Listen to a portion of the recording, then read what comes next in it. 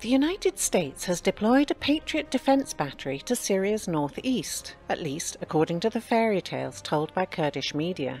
This deployment reportedly took place on February the 24th, in an entirely different reality since the reports claiming so are entirely fake.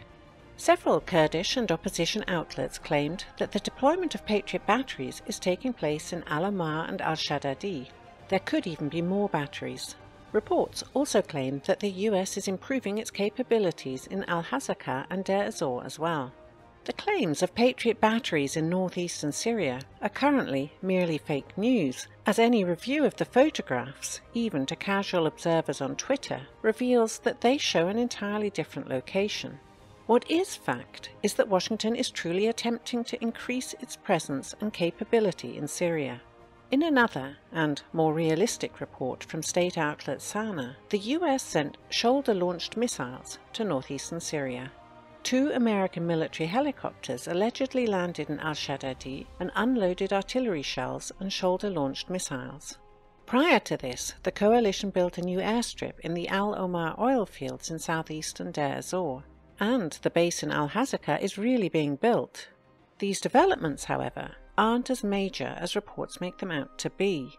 Saudi Arabia, a staunch US ally, one which Washington has vowed to defend and assist, is losing two of its Patriot defense batteries. The two units in Saudi Arabia were helping to protect the kingdom's oil fields, but will likely be replaced by Saudi Patriot batteries. Their effectiveness, or lack thereof, was proven back in 2019 when they failed to protect Aramco's facilities. As such, even if they were to be relocated in Syria, their usefulness remains in doubt.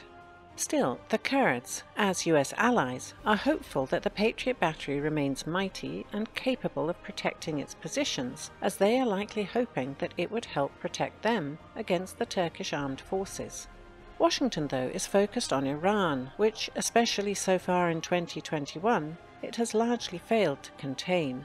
Iran continues expanding its influence in key areas such as Syria, Iraq, and Yemen. In Syria, after being subject to ISIS attacks, Tehran's forces are building new positions in the southern Homs countryside to protect phosphate mines in the region from the ISIS cells responsible. Empty claims may go around the world quickly. Their effectiveness, however, is dubious at this point. The United States is attempting to increase its presence and capabilities in Syria, but so far it appears to be too little too late. Iran's presence in Syria and influence in the entire region continue to grow despite containment efforts by Washington and its allies.